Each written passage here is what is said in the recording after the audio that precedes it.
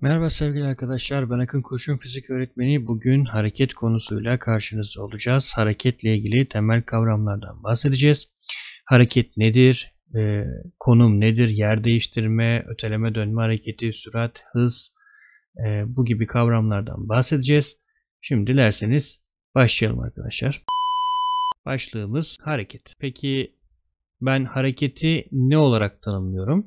Hareket dediğim şey şu. Bir cismin seçilen noktasına göre ki bu çok önemli. Referans noktasına göre konum değiştirmesi diyebiliriz. Peki burada e, birkaç tane kavram çıktı ortaya. Referans noktası ve konum.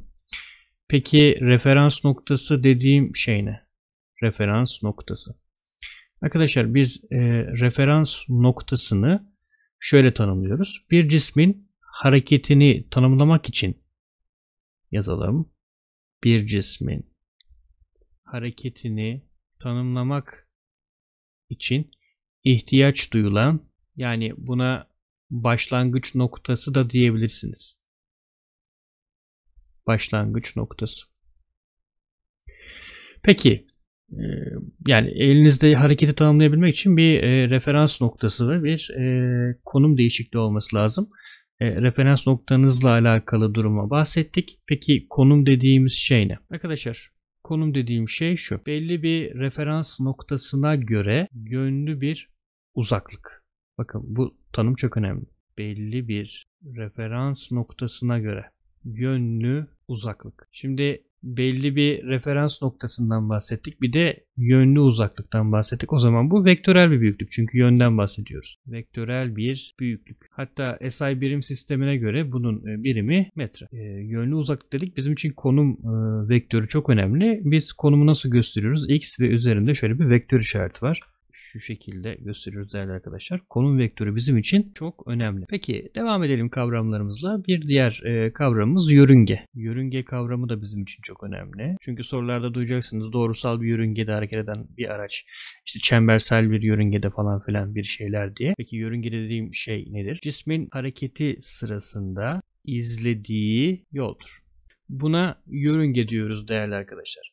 Ee, bir e, cisim farklı yörüngeler izleyebilir. Peki nedir bu yörüngeler? Mesela doğrusal yörüngede hareket edebilir ki bundan çok sık bahsedeceğiz. Doğrusal yörünge. Başka eğrisel yörüngede hareket edebilir. Bunların açıklamasını yapacağım.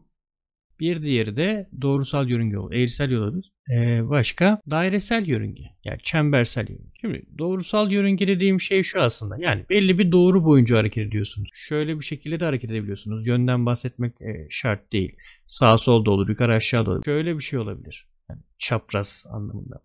Veya işte e, belli bir doğru boyunca şu yönde hareket ediyorsunuzdur. Mesela. Olabilir. Eğrisel yörüngede Hani şöyle olabilir. Şöyle bir yol izliyorsunuzdur. Eğrisel. Tamam Böyle düşünebilirsiniz bunu. Şöyle. Böyle düşünebilirsiniz. Eğrisel yörüngenin mantığı bu.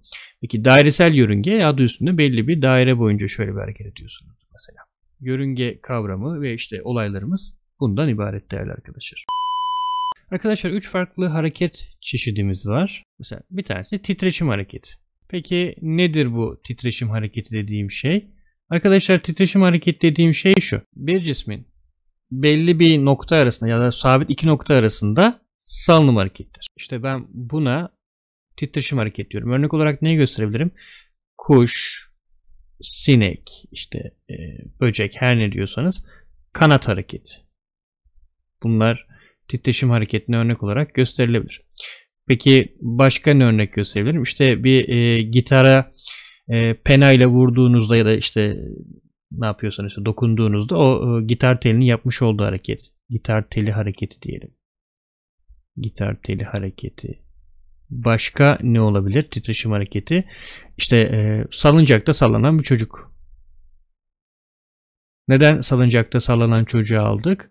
Çünkü seçilen iki nokta arasında hani şöyle bir salıncak olduğunu düşünün değerli arkadaşlar. Şöyle işte şöyle bir oturacı var bunun. İşte şu noktaya gidiyor. Tekrar şu noktaya geri geliyor. Düşünün çok çirkin çizdim ama hani yandan bakılış şeklinde şey yapabiliriz. Yani şöyle gidiyor mesela şu tarafa doğru. Değil mi? şu tarafa doğru gidiyor. Sonra tekrar bu tarafa doğru geliyor. Tarzında düşünebilirsiniz. Bu titreşim hareketine bir örnek olarak gösterilebilir. Peki başka hangi hareket çeşidimiz var? Öteleme hareketi. Peki öteleme hareketi dediğim şey ne? Şimdi bunu tanımını yapalım. Bir cismin bir yerden başka bir yere doğru bir yerden başka bir yere doğru belli bir doğrultu ve yönde e, ilerleme hareketi. Buna öteleme hareketi deniliyor. Peki e, öteleme hareketine ne örnek olarak gösterebilir? İşte okuldan eve giden çocuk, Ankara'dan İstanbul'a giden yolcu otobüsü mesela e, ya da işte kaydıraktan kayan bir çocuk, kaydıraktan kayan çocuk. Bu öteleme hareketine örnek olarak gösterilebilir. Bir diğer hareketimiz dönme hareketi. Peki dönme hareketini ne olarak tanımlarız değerli arkadaşlar? Dönme hareketi dairesel bir yörüngede yapılan hareket. İşte buna dönme hareketi deniliyor. Nedir? İşte dönme dolap hareketi mesela değil mi? Hani bunu örnek olarak gösterebiliriz. Mesela akrep yelkovan hareketi. Saatin akrep ve yelkovan hareketi. Bu e, buna örnek olarak gösterilebilir. Pervane hareketi değil mi? Pervanenin yapmış olduğu işte uçak e, vantilatör e, gibi işte cihazların yapmış olduğu hareket. E, dünyanın güneş etrafındaki hareketi. Yani bu eliptik bir yörünge gerçi de hani yine gösterilebilir mi? Evet gösterilebilir mesela bu olabilir. Hani kabul edilebiliriz belki bu durumu. E, bu e, olabilir. Mesela ya da şöyle söyleyelim hani bir önceki dersimizde anlattığımız basit makineler durumunda sabit makaranın hareketi dönme hareketine örnek. E, hareketli makaranın hareketini o zaman hem dönme hem de öteleme hareketine e, örnek olarak gösterilebilir. Şimdi şu konum olayının üstüne biraz daha duralım. Konum neydi? E, bir cismin bir hareketleri ne diyorsanız belli bir referans noktasına göre yönlü uzaklığıydı. Yani sizin bir referans noktası tanımlamanız lazım konumu tanımlayabilmek için. Peki bu nasıl oluyor? Diyelim ki koordinat sistemi var. X, Y noktası. İşte şurası başlangıç noktası diyoruz değil mi? Orijin o noktası. Ee, işte diyelim ki şurada bir cisim var. Bilmiyorsunuz bunun hani konumu. Şimdi bak bu cismin e, konumu nedir dediğinizde anlamsız bir e, cümle koymuş oluyorsunuz. Neden? Yani nereye göre? Kime göre? Ama bu cismin bu referans noktasındaki konumu nedir derseniz bu referans noktasındaki orijin yani başlangıç noktası belli. O zaman e, bu cismin bu orijindeki bu referans noktasındaki daha doğrusu bu koordinat sistemindeki konumu x1 diyelim ve y1 şeklinde tanımlanabilir. Mesela bu bir A cismi olmuş olsun. İşte bu benim o, o cismin konumunu tanımlar. Tamam da ee, şimdi bunun bir de konum vektörü var değil mi? Konum vektörünü nasıl buluruz bunun? Bu konum vektörü şudur değerli arkadaşlar. Başlangıç noktasını dedik ya e, şöyle yönlü uzaklık diye. İşte şu bu cismin konum vektörü. Buna x1 diyelim mesela. Peki sorum şu. E, referans noktanız değişirse başlangıç noktaya daha doğrusu konumunuz değişir mi? Mesela e, şöyle yapalım. Mesela Şimdi. Bakın cismin bu olduğu nokta değişmiyor. Bakın olduğu nokta diyorum çünkü bir şeyler değişecek. Cismin olduğu noktaya şöyle bir paralel evrende başka bir referans noktası yerleştirdim. O zaman bu O üssü bu paralel evrendeki konumu ne oldu? Değişti. Neden? Artık farklı konumları mevcut. Yani şurası x1 üssü olmuş oldu bu cisim için. Şurası y bir üssü olmuş oldu. O zaman bu cismin konum vektörü ne oldu? Değişti çünkü başka bir dünyadaki konumu değil mi? Yani başka bir referans sistemine göre konumu bu oldu. Bu da x2. Bu da x2 konum vektörü. Yani burada e, esasında cisim referans noktası değiştiği için hareket etti diyebilir miyiz? Eğer referans sistemine göre konuşuyorsak evet hareket etti diyebiliriz. Ama aslında cisim olduğu yerde mi? Evet olduğu yerde. Yani buradaki kavram e, şu arkadaşlar. Hani siz konumu tanımlamak için mutlaka kendinize bir referans noktası bulmanız lazım. Referans noktası. İşte hareket dediğimiz şey de bu. Referans noktasına göre hani değişkenlik gösteren bir kavram. Burada bunu anlatmaya çalışıyorum. Mesela şöyle bir şeyden bahsedelim değerli arkadaşlar. Şöyle bir koordinat sistemimiz olmuş olsun. İşte e, şöyle eşit e, bölmeler e, düşünelim. Şimdi diyelim ki şurada bir A cismi var noktasal. Şurada da bir şurada olmuş olsun B cismi var. Burası da orijin olmuş olsun. Bu A ve B cisimlerinin konum vektörlerini gösteriniz dedim ve e, bu konum vektörlerinin büyüklüklerini hesaplayın dedim diyelim ki. Şimdi e, A noktasının orijine göre konum vektörü şu. Başlangıç noktasından çizmiş olduğum şu vektör. Bu A'nın konum vektörü XA diyelim. E, şu çizdiğimde B'nin konum vektörü X, B diyelim. Yani XA'nın büyüklüğünü bulacağım ben şimdi. Nasıl bulmam lazım? İşte bu kaça kaç vektör? 1, 2, 3, 4, 4'e 2 yani 2 kök 5 birimlik bir. Peki e, B'nin büyüklüğüne bakalım. Bu 2, 1, 2, 3, 4, 4'e 2 bu da 4'e 2 denk geldi. XB dediğim şey ne oldu? İşte yine 2 kök 5 birimlik bir vektör. Evet diğer bir kavramımız yer değiştirme. Yer değiştirmeyi şöyle tanımlarız. Hareketli bir cismin herhangi iki anda bulunduğu noktalar arası uzaklık. Şimdi e, bu tanım birazcık e, farklı gelebilir ama kitaplar şunu da söylüyor. E, bir cismin son konumuyla ilk konumu arasındaki en kısa mesafe. Ama bu daha anlamlı bir tanım. Emin olabilirsiniz. Yani yer değiştirme dediğim şey şu. E, hangi referans sistemindeki ilk konumunuz varsa aynı referans sistemindeki son konuma göre bu iki nokta arasındaki e, uzaklığa yer değiştirme deniliyor. Diyelim ki siz şöyle bir referans sistemindesiniz. Burası A noktası olmuş olsun. Dolayısıyla konumunuz ne olur? XA diye tanımlanır. Belli bir referans noktası göre konumuz XA. Neresi oldu? Şu anda konumuz değil. Siz aynı referans noktasına göre konumunuzu B'ye getirdiniz. Yani B noktasınız. Bu da XB. İşte son konumla ilk konum arasındaki en kısa mesafe de deniliyor. Şu vektör sizin için yer değiştirme vektörünüz. Peki bu yer değiştirme vektörünü nasıl buluyorsunuz? Son konum eksi ilk konum şeklinde buluyorsunuz. Bu yer değiştirme dediğim şey bu. E, hep vektör işareti koyduk. Bu vektörel bir büyüklük çünkü ve uluslararası birim sistemine göre bunun birimi yine metredir değerli arkadaşlar. Bir diğer tanımımız alınan yol. Alınan yol. Buna şöyle x diyeceğim. Ya da e, x toplam diyebilirim. Fark etmez. Toplam ya da delta x derim yine ama üzerinde şapkası olmaz. Alınan yol dediğim şey nedir? Bu e, yine önemli kavramlarımızdan e, bir tanesi. E, alınan yol bir cismin izlediği yörüngenin toplam uzunluğudur. Buna alınan yol deniliyor. Bu skaler bir büyüklük değerli arkadaşlar. Skaler bir büyüklük. Yine uluslararası birim sistemine göre bunun birimi metre olacaktır. Şimdi e, yer değiştirme ile alınan yol çok karıştırılıyor. Yer değiştirme için vektörel büyüklük, alınan yol için skaler büyüklük dedik. Ama tam olarak neden bahsediyoruz? Bakın. Diyelim ki siz şurada A konumundasınız. Belli bir referans noktası göre A konumundasınız. Şuradaki B konumuna gelmek istiyorsunuz. Şimdi A'dan yola çıktınız. Bakın. A'dan yola çıktınız. Şöyle bir yol izlediniz. Manyaksınız siz çünkü. Böyle bir yol izliyorsunuz. Buraya geldiniz. A'dan çıkıp B'ye eğrisel, yer yer yarım dairesel yol izleyip buraya geldiniz. Bakın şu maviyle çizmiş olduğum şu vektör sizin yörüngenizin e, vektör demeyelim e, küçük noktaların birleşim kümesi sizin için aldığınız yolu verir. Alınan yol diyelim. Alınan yol. Yani bunu delta x, x, x toplam ne diyorsanız bunların bir tanesiyle gösterebilirim. Ama A noktasından B noktasında çizmiş olduğunuz şu doğru ise şu sizin için yer değiştirme. Oradaki de küçük noktaların birleşimi var. O da küçük noktaların belli bir e, birleşim doğrusu ama vektörel büyüklük.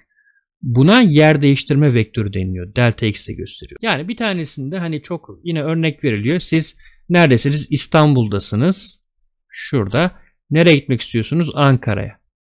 İstanbul'dan Ankara'ya karayolu bu şekilde diyelim ki. E, siz bunu uçakla gittiğinizde nasıl gideceksiniz? Şöyle gideceksiniz. Uçağın hiç manevra yapmadığını farz ediyoruz tabii ki de. Bu şekilde gideceksiniz. İşte şu sizin yer değiştirme vektörünüz. Şu ise alınan yol değerli arkadaşlar. Burada bundan bahsetmeye çalışıyorum. Şimdi şöyle bir durumdan bahsedelim. Acaba bir cismin yapmış olduğu yer değiştirmenin büyüklüğü ile alınan yolun büyüklüğü arasında bir kıyas yapabilir miyiz? Bunlar birbirlerine eşit midir yoksa biri daha mı büyük biri daha mı küçüktür? Şimdi arkadaşlar bunun belli bir sınırı var. Eğer siz doğrusal bir yörüngede hareket ediyorsanız mavi ile çizmiş olduğum şu doğru ya yani küçük noktaların birleşim kümesi sizin aldığınız yol. Ama aynı zamanda x ve y arasındaki en kısa mesafeyi de temsil ettiği için sizin yer değiştirme vektörünüzde. Yani bu örnek için bu örnek için yaptığınız yer değiştirmenin büyüklüğü ile aldığınız yolun büyüklüğü birbirlerine eşit olmuş oldu. O zaman sınırınız yani limit noktanız yaptığınız yer değiştirme aldığınız yola en fazla eşit olabilir. Neden? Siz eğrisel bir yolda ya da çembersel ya da bunların doğrusal üçü birden karışık olan bir yolda ilerliyorsunuz diyelim ki. Yani şöyle bir yolda ilerliyorsunuz. Şöyle bir yol izleyip Y noktasına geldiniz. Burası X noktası. Şurası Y noktası. Bakın şu işte mavi ile tekke üzerinden geçmek biraz saçma olacak ama şu mavi ile çizmiş olduğum şurası sizin aldığınız yolun büyüklüğü. Ama ama şuradan şuraya çizmiş olduğunuz en kısa işte çizgi diyelim ona. Bu sizin yer değiştirmenizin, yer değiştirme vektörünüzün büyüklüğü. E o zaman dikkat ediyorsanız, dikkat ediyorsanız daima ama daima normal şartlarda daima da, ama daima aldığınız yolun büyüklüğü yaptığınız yer değiştirmenin büyüklüğünden her zaman için daha büyük.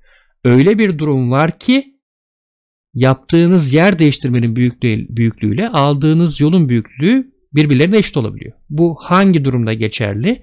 İşte burada olduğu gibi doğrusal e, yörüngede geçerli. Doğrusal bir yol alıyorsanız aldığınız yolla yaptığınız yer değiştirme birbirlerine, birbirlerine eşit oluyor. Tabi büyüklük anlamıyla konuşuyorum burada. O yüzden biz soruları e, çözerken genellikle bakın genellikle diyorum hep aynı yönde giden bir araç için konuşuyoruz ya da aynı yönde e, hareket eden bir hareketli için konuşuyoruz. Eğer aynı yönde hareket ediyorsa bunun aldığı yol ya da yer, yaptığı yer değiştirme için aynı şeyi kullanabiliriz. Şartım aynı yönde hareket ediyorsa. Farklı yönlerde hareket ediyorsa tabii ki yer değiştirmesi farklı olmuş olacak. Bunun ayrıntılarına gireceğiz şimdi. Çok e, klasik e, örneklerle hani şöyle bir anlatmaya çalışalım.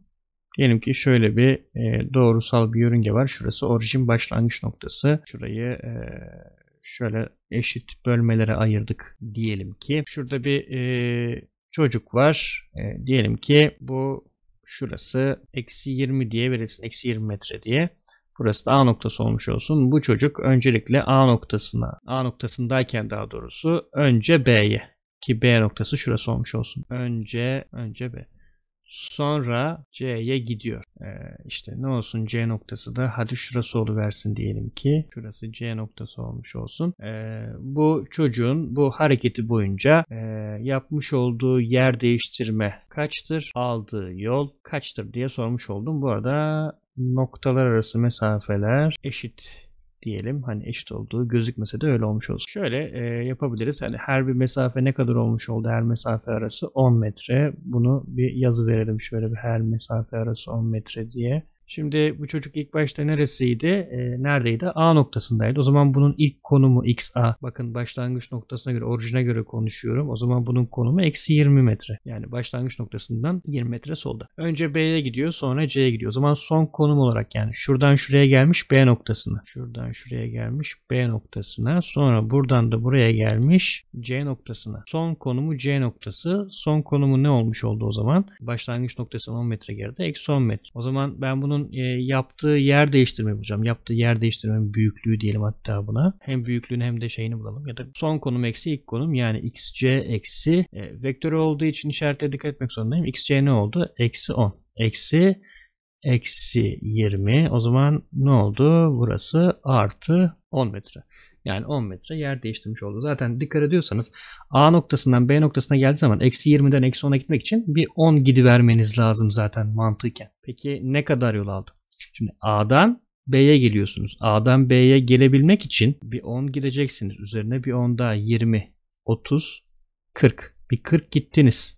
40 metre var elinizde. Artı bir de B'den C'ye gidiyorsunuz. İşte bir 10 gittiniz 50. 60 bir de böyle yani bir 30 metre daha gittiniz. O zaman 70 metrede yol almış oldunuz. Yani aldığınız yol 70 metre. Yaptığınız yer değiştirme artı 10 metredir. Hani e, alınan yolda yapılan yer değiştirme arasındaki farkı bu şekilde anlatabiliriz. Başka bir örnek verelim. Mesela şöyle bir çembersel bir e, yol var diyelim ki. E, şöyle. Şurası çemberin O noktası merkezi. Ben de şurada e, A noktasındayım. E, bir hareketli var burada daha doğrusu. A hareketlisi daha mantıklı olur. A hareketlisi. Bir A hareketlisi olmuş olsun. Bir de aynı noktada aynı noktada bir B hareketlisi olmuş olsun. Şimdi A hareketlisi şöyle bir yol izleyerek e, şu x noktasından y noktasına geliyor. B hareketlisi ise şu yörüngeyi izleyerek x noktasından y noktasına geliyor. Bu çemberin yarıçapı 2 e, metre olduğuna göre şöyle 2 metre olduğuna göre e, A'nın yapmış olduğu A'nın almış al, almış olduğu yol nedir? B'nin almış olduğu yol nedir? A'nın yapmış olduğu yer değiştirmenin büyüklüğü nedir?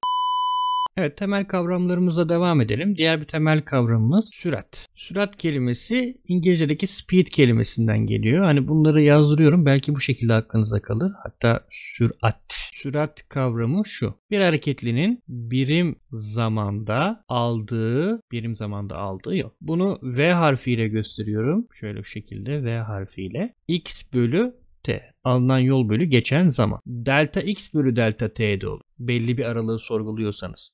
O zaman sizin ortalama süretinizden bahsediyoruzdur. Belli bir aralık. Çünkü delta x nedir? İşte ee, o hangi aralığa bakıyorsanız o aralıkta almış olduğunuz yoldur. Şu da o aralıklardaki zaman farkıdır. Öyle düşünebilirsiniz. Bunların ayrıntılarına geleceğiz ortalama sürat, ortalama hız kavramlarından. E, işin özü bu birim zamanda alınan yoldur. E, bunun birimi nedir o zaman? Metre bölü saniye uluslararası birim sistemindeki olayı bu. E, peki diğer bir olayımız ne? Hız kavramı. Hız. Bu da İngilizce'deki velocity kelimesinden geliyor. Ee, yani bu bilim insanları da işin içerisinden çıkamamış. Yani hız ve sürat kavramı çok birbirlerine karışıyordu. O yüzden velocity ve speed tanımlamalarını yapmışlar. Biri hız, biri sürat. Yani sürat hızın büyüklüğü anlamına da gelebilir aslında. Onun ayrıntılarına bakacağız. Hız kavramı şu. Birim zamandaki yer değiştirme. V eşittir. V eşittir. Delta x bölü delta t ama yer değiştirme dedim. Bu vektör. E, vektörel büyüklük, skaler bir büyüklüğe böldünüz bunu. Esasında vektörlerle bölme işlemi yok ya. Neyse böyle olduğunu farz edelim. E, işte buradaki vektörünüzde ne olmuş oldu? Yani hız dediğin şey de vektörel büyüklük olmuş oldu. E, birim zamandaki yer değiştirme. Yine bunun bir uluslararası birim sistemindeki karşılığı metre bölü saniyedir değerli arkadaşlar. Şimdi diğer bir olayımız ortalama sürat, ortalama hız, ortalama hızdan bahsedelim. Ortalama hız dediğim şey şu arkadaşlar. Esasında hani hız dediğim şeyin kendisi zaten ortalama kavramı kullanılabilir de. Yani e, tanım gereği şöyle söyleyebiliriz. E, e, bir cismin belli bir zaman aralığında yapmış olduğu yer değiştirme. Yani demek istediğim şey şu. Bunu V ortalama olarak gösteriyoruz. Şöyle bir yine vektör işareti var. Çünkü birim zamandaki yer değiştirme ile aynı kavrama çıkıyor. Yani belli bir zaman aralığında x2 konumundan x1 konum daha doğrusu x1 konumda x2 konumuna gittiniz. Bunu işte t1'den t2 zaman aralığı e, süresi içerisinde yapmış oldunuz. Olay böyle. O böyle de bakabiliriz olaya. Yine değişiklik yok. E, belli bir zaman aralığındaki yer değiştirme olduğu için yine metre bölü saniyedir. Birimi değerli arkadaşlar. Şimdi yine bir kavram kargaşası var. Bir bundan bahsedelim. Mesela şunun bir kadran olduğunu farz edelim. Şöyle bir kadran. Genelde otobüs, ot, e, otomobil, otobüslerde oluyor biliyorsunuz. Hani şöyle e, şu kadran deniyor. Bir şey kadranı. Şimdi onu söylemek istemiyorum. Ne olduğunu. Şimdi buradaki kadran neyi gösteriyor? Bakın. E, siz e, gaz pedalına bastıkça e, tekerlekler ne yapıyor? Hem e, dönme hem de öteleme yani yuvarlanma hareketi yapıyor. Siz bu gaza basma olayını abartırsanız e, aynı süre aralıkları içerisinde tekerleğin yuvarlanma e, olayı da artıp ya da azalıyor değil mi? Yani ani olarak değişen bir e, durum söz konusu. O zaman buradaki ibre de ani olarak ne oluyor? Sizin gaza basmanız ya da ayağınızı gazdan çekmenize göre değişiyor. O yüzden otomobil ve e, bu otobüslerdeki bu göstergeye sürat göstergesi denir. sürat göstergesi. Biz tabi e, maalesef kolayımıza geldiği için hız göstergesi diyoruz. Esasında sürat göstergesi de eksik bir ifade kalmış olur. Ani sürat göstergesi desek daha anlamlı olmuş olur. Ani sürat. Çünkü anlık olarak ayağınızı e, ayağınızın gaz pedalına basılı olup olmaması durumuna göre değişkenlik gösteriyor. Yani 2 saniyede gaz pedalına az basmışsınızdır. Az yol alırsınız ama sonraki 2 saniyede dibine kadar bastığınız zaman aldığınız yolda e, tekerleklerin yuvarlanması arttığı için artacaktır. O zaman hani buradaki ani sürat göstergesi demek daha anlamlı olur. Doğrusu budur ama biz e, ne yapıyoruz? Ben de günlük hayatta öyle kullanıyorum açıkçası hani e, kolay geldiği için. E, hız göstergesi diyorum. Bu kesinlikle yanlış. Doğrusu ani sürat göstergesidir. Evet klasik bir e, soruyla devam edelim. Diyelim ki bu bir futbol sahası olmuş olsun. E, bu futbol sahasının işte eni 40 metre, boyu 30 metre büyüklüğünde ve bu futbol sahasının A noktasında bir e, futbolcu var. Yerseniz bu futbolcu. Bu futbolcu A noktasından önce kuzeye doğru gidiyor 30 metre ve e, kuzeye doğru 2 saniye şurada bir x noktası olmuş olsun bir ara birim istasyon gibi düşünün. E, A noktasından x noktasına 2 saniyede geliyor. Sonra X noktasından B noktasına 5 saniyede geliyor. Rakamları tamamıyla salladım. Ee, bu hareketlinin, bu futbolcunun hareketi boyunca hareketi boyunca ortalama hızı nedir? Ortalama e, ortalama süreti nedir? Ortalama hızının büyüklüğü nedir? E, aldığı yol nedir? Yaptığı yer değiştirmenin büyüklüğü nedir diyorum. Şimdi başlayalım. Şimdi ben A noktasından X noktasına gittim. Şöyle bir yörünge yazarım. Doğrusal bir yörünge. O zaman burada yapmış olduğum yer değiştirmenin büyüklüğü 30 metre. Sonra X noktasından B noktasına gittim. Buradan buraya da ne kadar e, geldim? İşte 40 metrede böyle gittim. Şimdi aldığım yola bakayım. O zaman aldığım yol 30 gittim, 40 daha gittim. 70 metre. Tamam. Peki yer değiştirme son konumla en konum arasındaki şu çizmiş olduğum vektör şöyle çok saçma sapan çizdim. Şu benim yer değiştirme vektörüm. E işte 3 4 5 üçgeninden şurası 50 metre. O zaman e, yer değiştirmemin büyüklüğü değil mi? Bir dakika şuraya delta x toplam yapmış. Şunu yanlış yaptık. Şöyle yapalım. Delta x heh, burası ne olmuş oldu? 50 metre olmuş oldu. Tamam.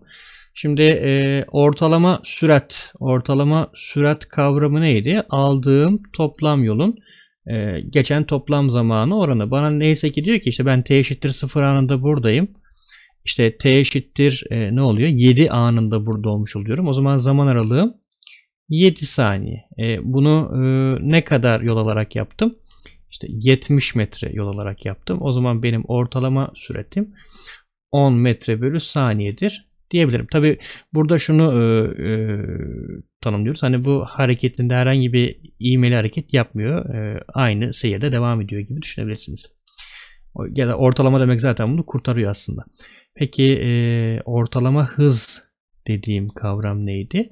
İşte yaptığım yer değiştirmenin geçen zamanı oranı tabi burada büyüklükten bahsedeceğiz. E, ne kadar yer değiştirdim ben? 50 metre. Bunu ne kadar süre yaptım? 7 saniye. O zaman ortalama hızınızın büyüklüğü 50 bölü 7 metre bölü saniye yapıyor. Artık buradan hangi rakam geliyorsa.